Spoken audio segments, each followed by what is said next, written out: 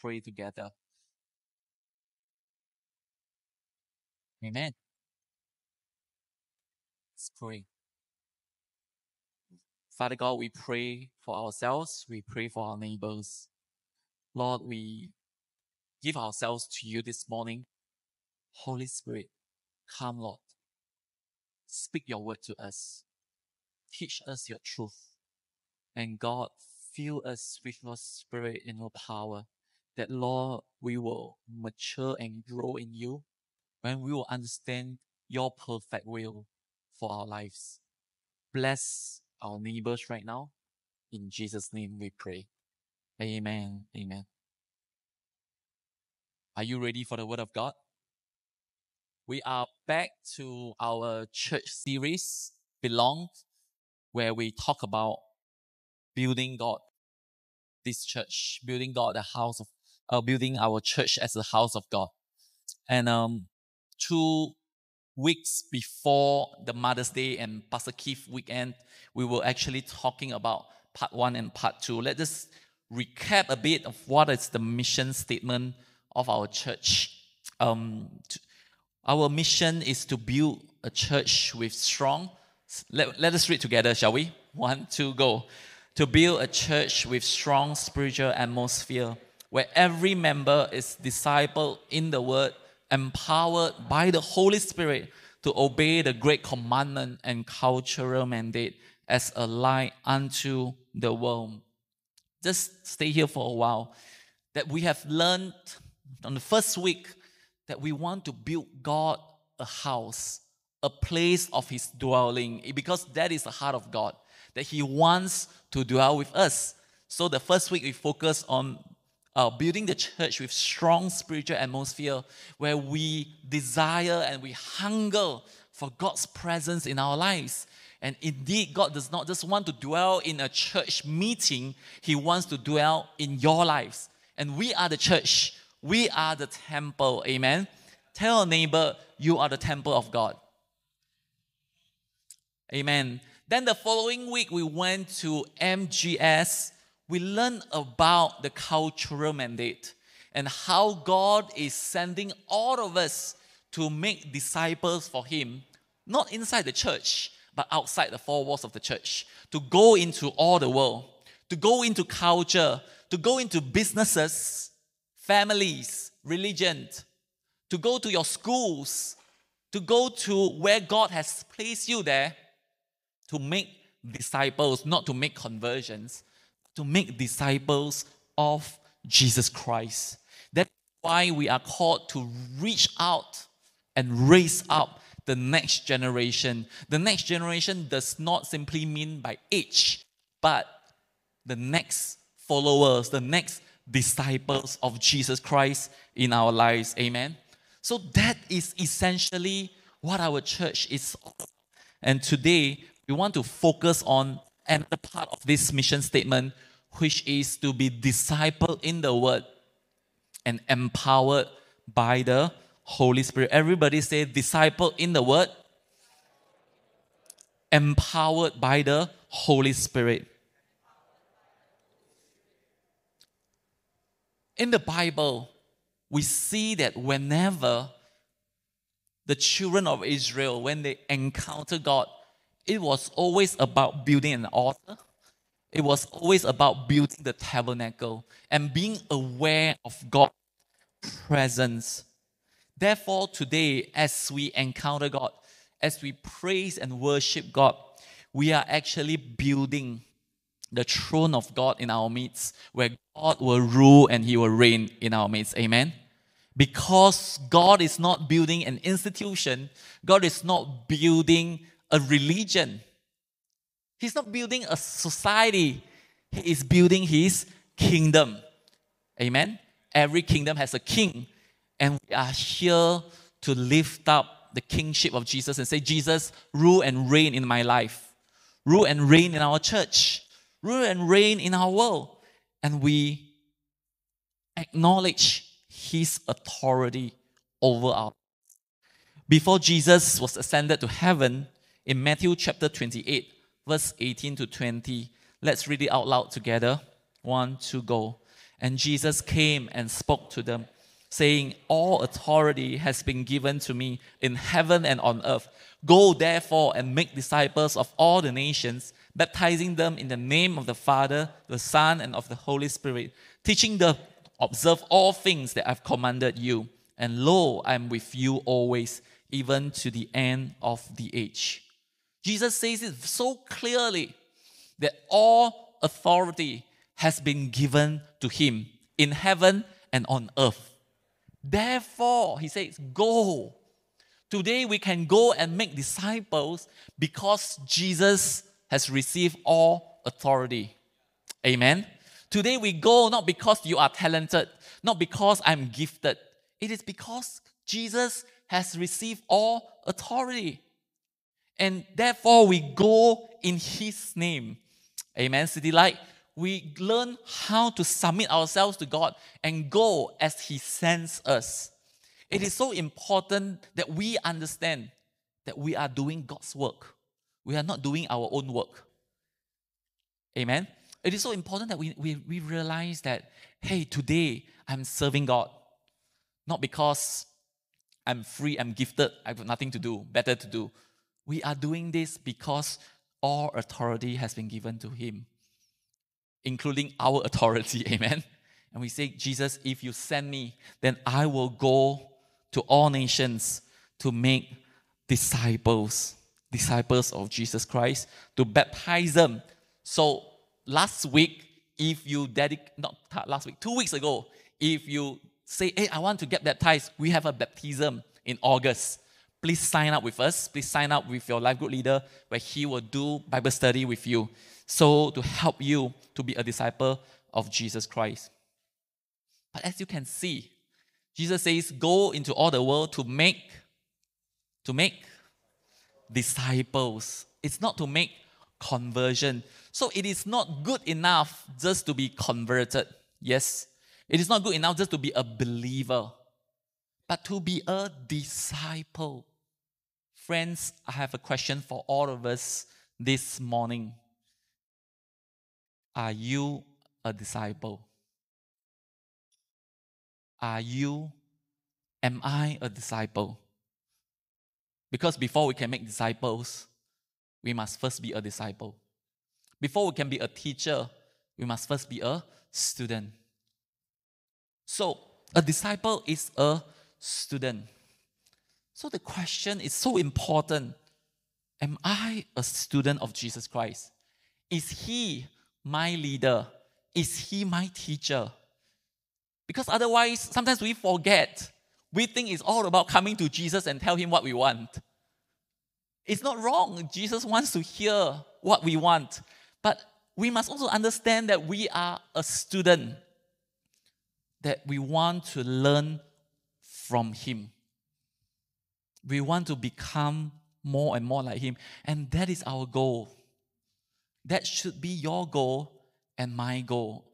Isn't it great that all of us have a great teacher, a great, uh, uh, uh, the, the God that we worship is someone who will teach us that we can model our lives after. Who do you model your life after? Is it someone on TikTok or Instagram? Or is it someone on the successful, I don't know, Bill Gates, Steve Jobs, Tim Cook? Is it a national political leader? Who do you model after? Now, if we say today, I'm a disciple, then the next question should come is that what makes me a disciple? What makes you a student? Remember when you were a student? those days, some of you like some of us here, like it was many, many years ago. Remember those days when you were students? You have to wake up early in the morning, grumpy and uh, grumpy a bit, right? What do you do in the morning? You have to pack your bag. And remember, you have to check your homework. You must bring your homework. Have breakfast. Uh, some of you, you remember the breakfast. Okay. Um, those days, uh, our time, if we come from a poorer family, the breakfast is in school waiting for us one. The breakfast program. Remember? But I, I remember the need of checking all my homework daily. Have I, do, have I done the homework that was given to me? All right. When is exam coming? Yes, there's tests. And oh, I remember today. Today there's BM, Bahasa Malaysia. You got to bring your Bahasa book. You cannot bring the wrong book. Remember some students like they don't bring their book, so they have to share their book with their friends, right? So there are students who are prepared and learning. There are students who are just there. I come from a I must be very careful with what words I use. I come from a very local uh, school in the only school in my region. Uh, we have 10 classes in our tingkatan. And I can assure you, out of the 10 classes, probably only two classes are learning. The rest, right, the bags are empty one. There is DVD inside. Uh, what kind of content you know lah, some, you know, guys. Then you have games and card games. Like, nobody is really learning. Just because you wear the uniform, just because you carry a bag, does not automatically make us a good student. Are you following me? So just because we come to church, just because you know I sit here and listen, doesn't naturally just make me a good disciple of Jesus Christ. So today we have got to be intentional. Everybody say intentional. Now we, we have to be intentional where the teacher teaches us that we, we, we will not complain, hey, this teacher, hey, how come today the hair so messy? You know, the teacher, this one cannot teach one. You know, I don't even know what he's talking about. There is a need for us to desire to learn and say, no matter how good the teacher is or not so good, I want to learn as much as I can. You take out your notebook, you look at your, you write your date, right? Today is Sunday. Of course, in school it's Monday, first week of, first day of the week this is what is, I need to learn. And before the class, some students, good students, even be, before the teachers come in, they will refer to the previous notes just to refresh their memory. Are you following me? So that is the that is the attitude of a student. And a student spiritually is a disciple. That means God, I'm serious about growing.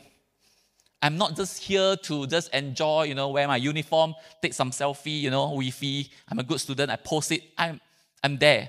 It's not. We become a student when we learn. It's not when we wear the uniform. When we learn, when we desire. So it requires humility. It requires availability. Okay, you, you some students those days Ponteng school one, right? You know, when they are not available, they don't learn. And it requires teachability. City Light, I pray that we will not be a church that just have the outward form without growing and learning. City Light, we are here to be a disciple of Jesus Christ. That means all of us. You know, I, have been talking to God lately. My, my question is a bit childish, you know. Sometimes I say, God, am I a good student or not? Because I feel I'm not. I feel sometimes I remind myself that I'm a pastor more than I'm a student. I got to remind myself again and again and say, God, I still want to learn. I want to learn so much more. I want to have a greater desire, not just to learn knowledge, but I want to know you better. I want to become more and more like you. That should be the desire of every member, every believer, amen, that we want to be transformed to be more and more like Him. I wonder how we handle God's word because you know God's word is around us, right? You have a Bible at home, you go to Facebook, you, you see uh, somebody post a Bible verse, and if you have a Bible app, every day have a verse of the day. You do a devotion, there is Bible. You go to live group, there is Bible. You go to sermon, there is Bible. Everywhere there's God's word. Now, there are two ways I realize to handle God's word.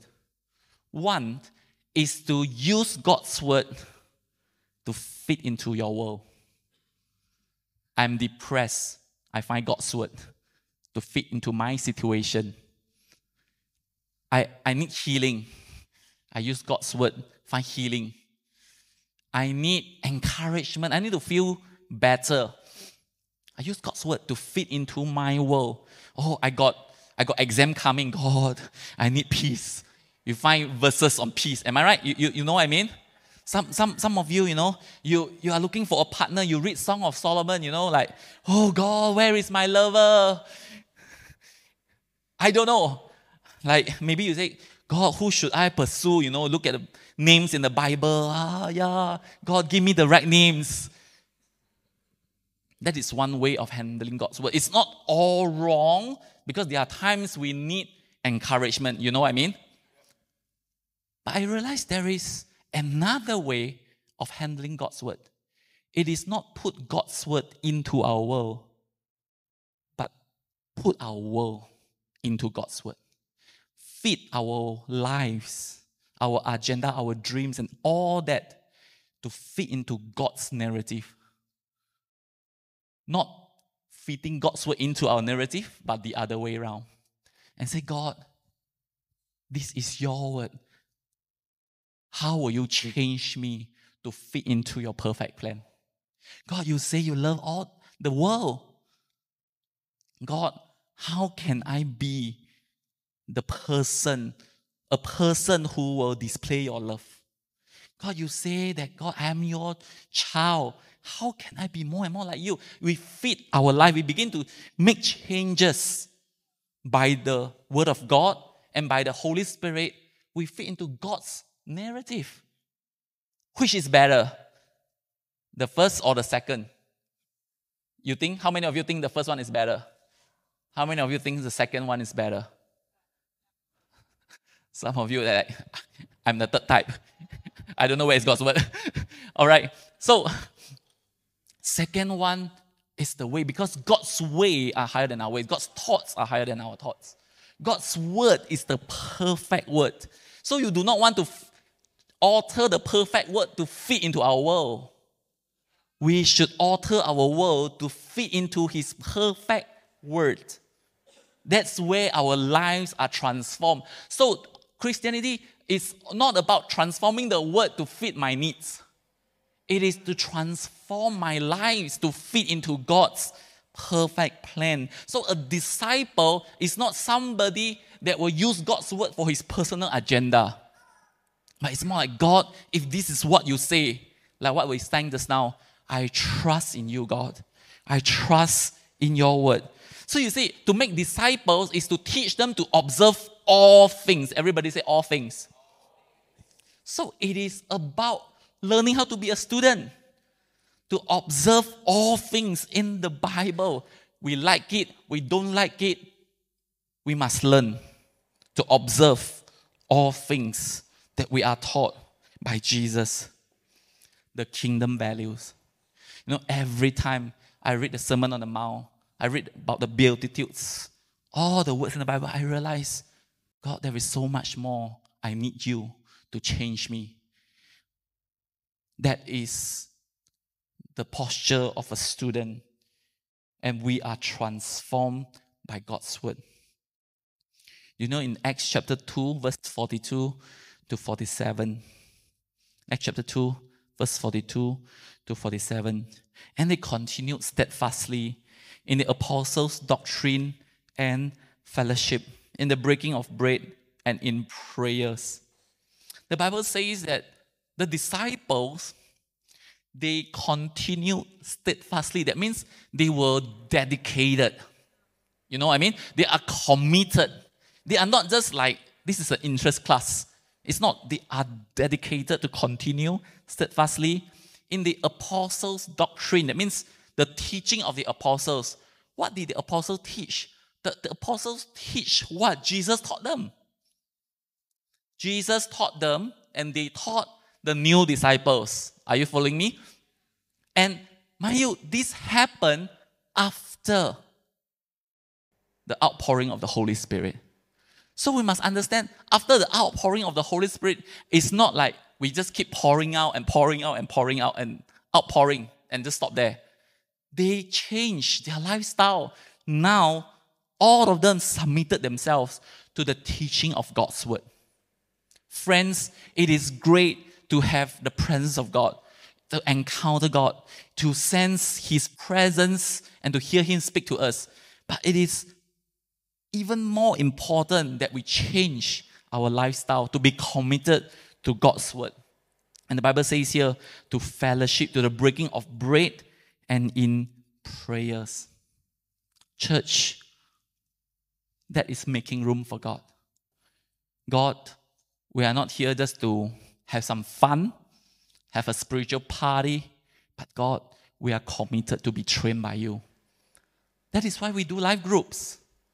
Life group is not for lonely people who need friends. Are you following me?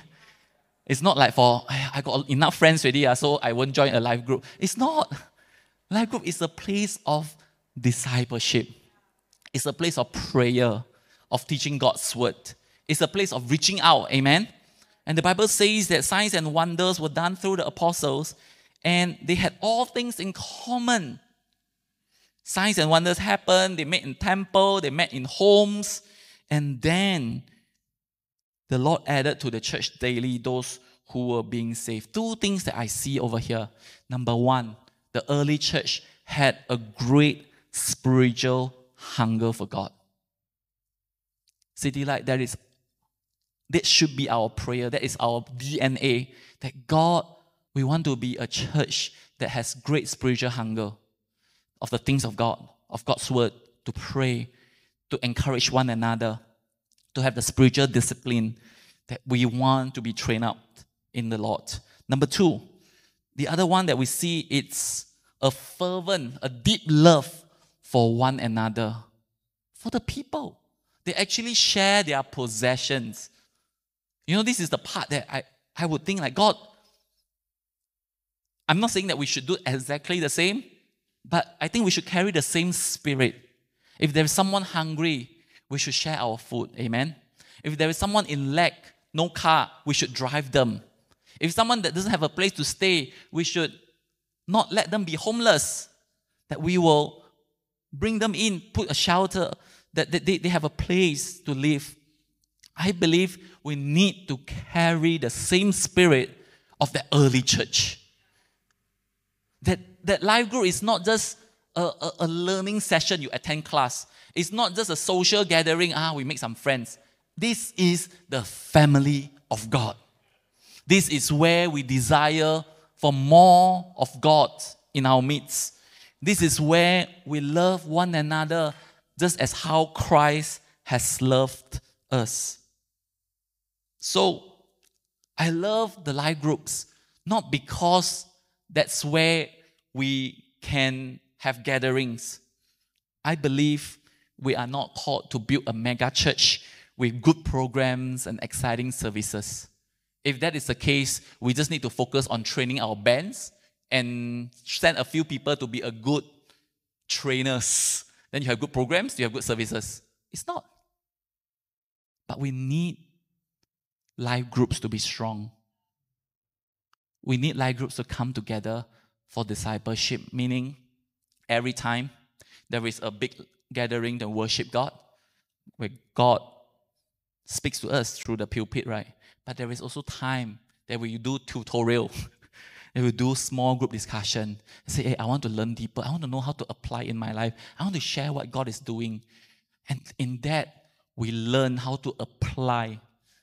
You know, those days I, I when, when I was young, I, I didn't know the importance of having tutorial, you know, making it practical. I thought it's all about lectures, lectures. But you understand, you, you realize that in life, it's not just about knowing it here, but if you practice it. Because how, how do we love unless we have people around us? Love cannot just be a nice concept. It's just like being fit, how to live a healthy lifestyle. I, I guess if there is 200 of us here this morning, all of us can give a lecture on how to be fit.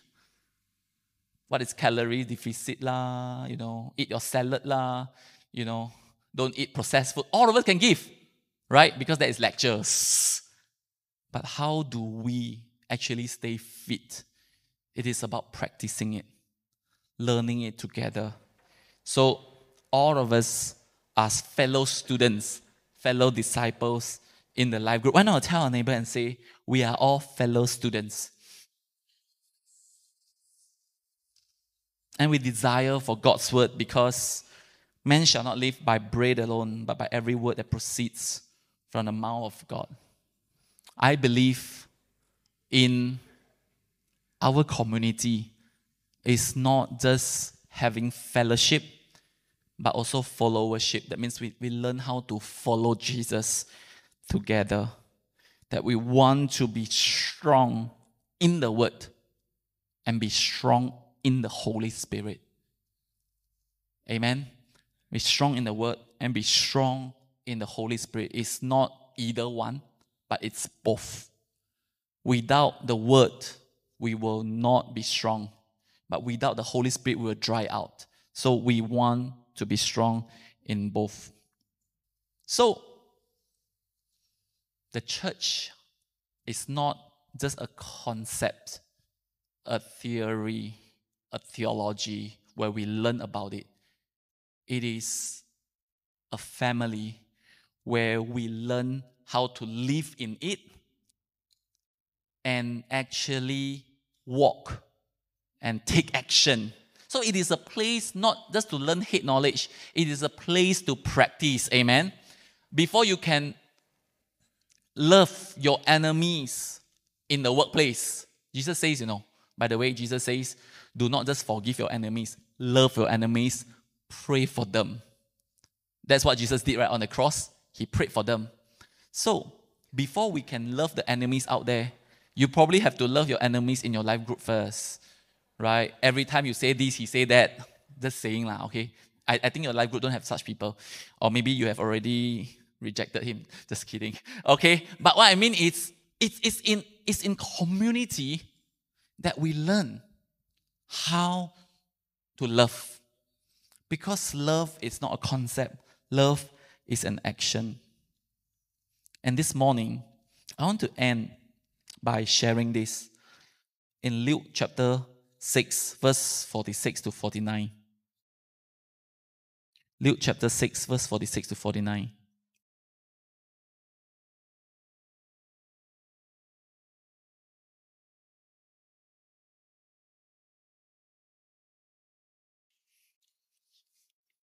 Can we can we read it out loud together? Verse 46, 1, 2, go. But why do you call me Lord, Lord, and not do the things which I say? Whoever comes to me and hears my saying, does them, I will show you whom he is like. He is like a man building a house who dug deep and laid the foundation on the rock. And when the flood arose, the stream beat vehemently against the house and could not shake it, for it was founded on the rock. But he who heard and did nothing is like a man who builds a house on the earth without a foundation, against which the stream beat vehemently, and immediately it fell, and the ruin of the house was great. Three things, three things, three actions took place over here. Jesus says, when a person comes to me, which I believe all of us here, or most of us here, have come to Jesus. Right? A person that comes to God. And we all have gone through that.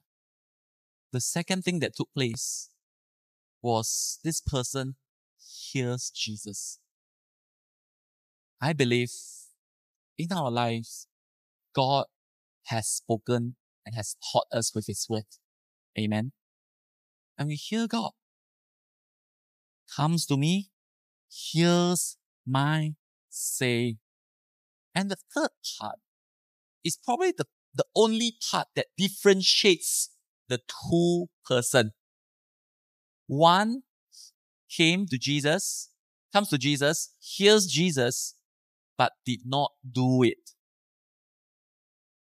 Another one came to Jesus, heard Jesus, but he did according to what Jesus said.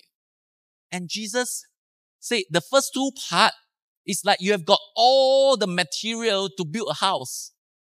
You know, you got God's word to build a house, right? God's word is like building material in your life, you know, that can build your life to be safe, secure, uh, to withstand storms and all that. So you come to, you come to Jesus, you hear God's word. That means you have got all the building material already. But there is a problem. The person who hears God's word but does not obey, does not do it. He has the building material, but he does not build it upon the solid rock, which is Jesus Christ himself. But the other person who hears and obeys, that means he does it. That doing is the key to building it on the right foundation. How sad, right? We have got the material. We have got God's word in our lives. But if we only hear it and don't do it, we are building it wrong. We got the right material, but we build it wrong. Because we say, God, you are a good teacher. I'm so inspired. God, I'm so encouraged.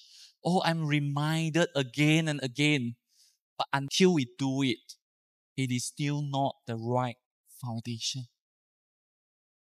And that's why when we see so many believers or disciples, sometimes we see, I, I'm worried myself and say, God, will I be like them one day that, hey, God, they were one day, well, they was my, they were my role models. They were my heroes of faith. God, this person, I'm so inspired. I mean, like, why are they not even following Jesus anymore? Sometimes we wonder, is it because they burn out? Is it because they, they, they face such a great challenges? Uh, they, they just face such, such a storm in their life that they could not wait. But the Bible says that both will face a storm. That means all of us here, we will face rain, wind, flood, storms, because it is inevitable. The only difference is those who hear it and do it. Your building is erected on Jesus.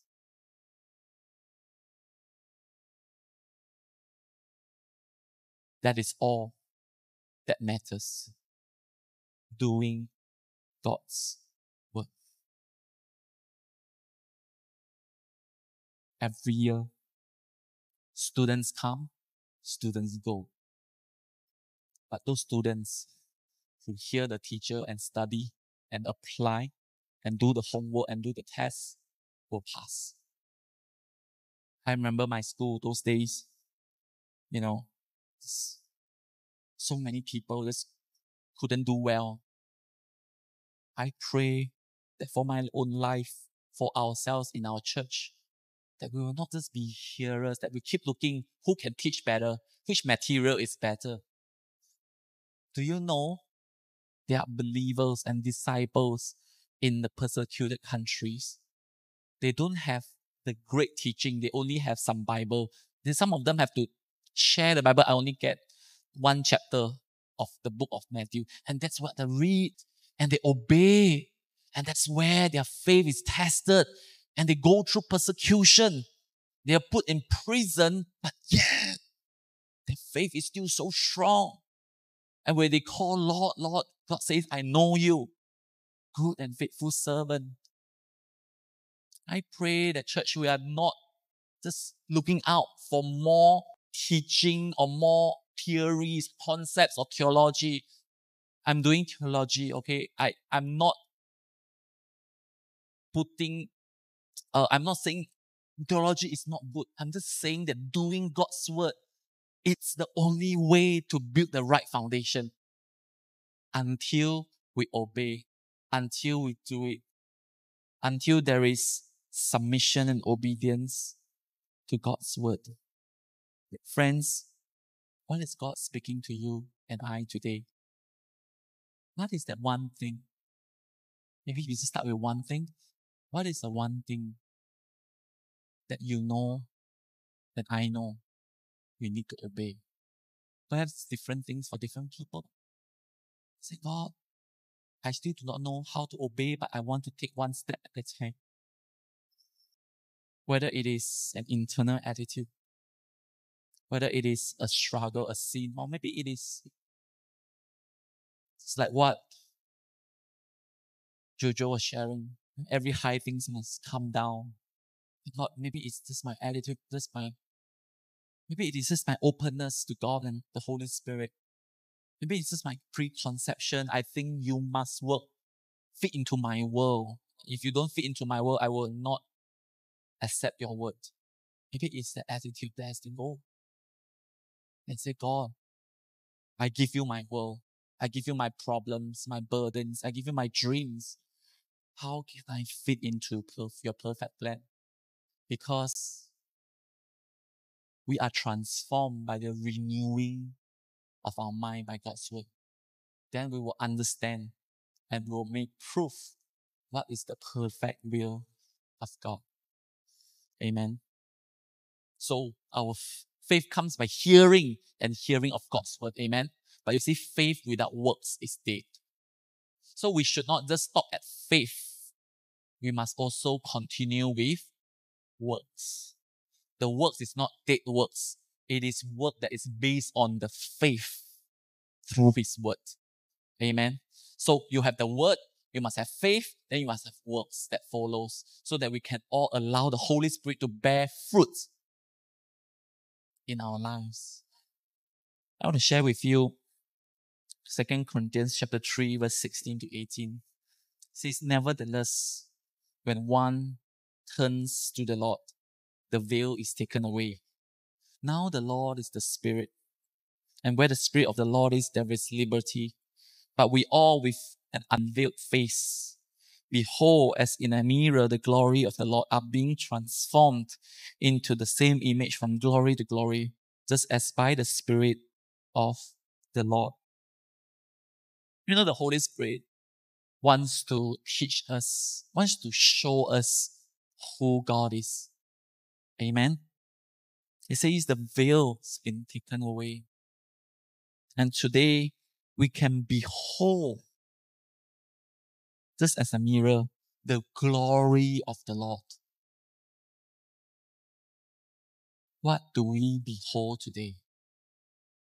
Today we can obey God because we know He is God. We behold His glory. We know that He is holy. He is worthy. I think a lot of times we struggle to trust in God because we have not seen His glory.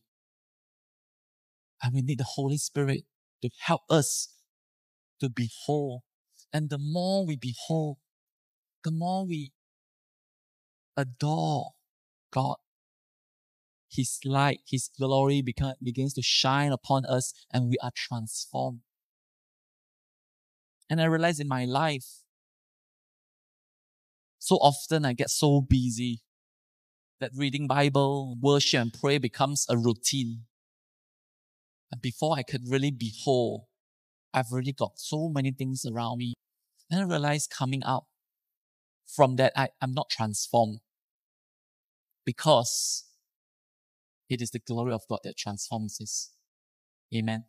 So we, we, we, we called to behold, behold Jesus, behold God in our lives. Let's not behold our political leaders, put our hope in them. Let's not behold money, fame, success. Let's not behold our bosses, though they may be good to us, but our hope comes in the Lord, from the Lord and we want to behold him. And the more we look at his face, the more we are transformed into his image and his likeness through the Holy Spirit. So, Delilah, I pray for myself, I pray for you that when Jesus comes back, we really become more and more like him.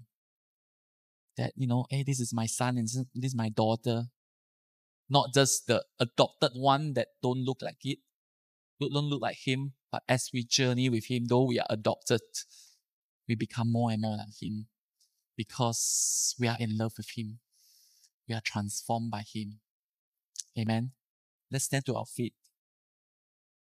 I pray that today you capture what God is speaking to you, what God is speaking to me. Can we come to God like a student today and say, God, I want to be primary one again. I want to be excited for you, for you to speak to me. God, I want your word to disciple me. I want your Holy Spirit, God, to touch me, to transform me to becoming more and more like Jesus. As we worship God with this song, give me faith. Can we just come to God? This is between you and God. And just forget about your neighbor for a while and just allow God So allow the Holy Spirit. On the day that the Holy Spirit came upon the people, they were transformed. Something changed on the inside of them. From fear, they became full of faith.